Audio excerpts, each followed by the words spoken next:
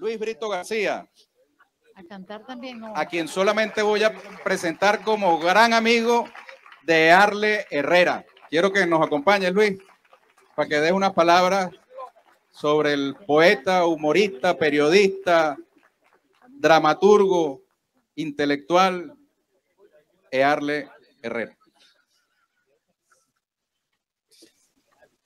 Estos son los cambios de vestuario.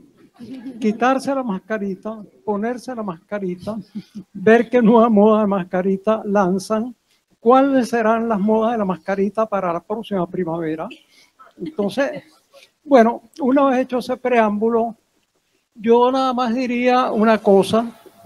Esta es la despedida que hubiera querido Earle.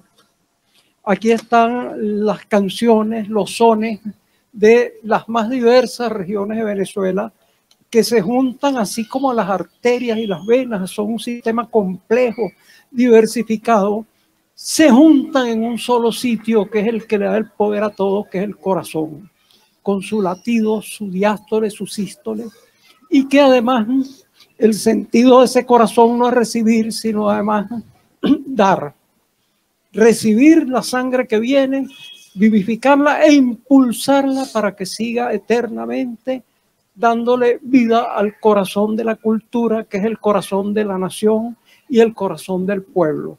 Si Arle hubiera querido una despedida, es esta.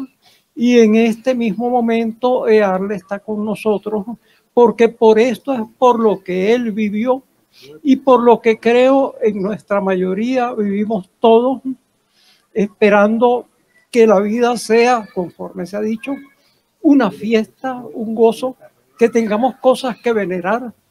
Ojalá que esas cosas fuéramos nosotros mismos por nuestros actos. Y además que esa fiesta, cuando termina, como está terminando ahora por el crepúsculo, no importe eso porque mañana habrá nuevos músicos, nuevas melodías y nuevos amores. Gracias, poeta.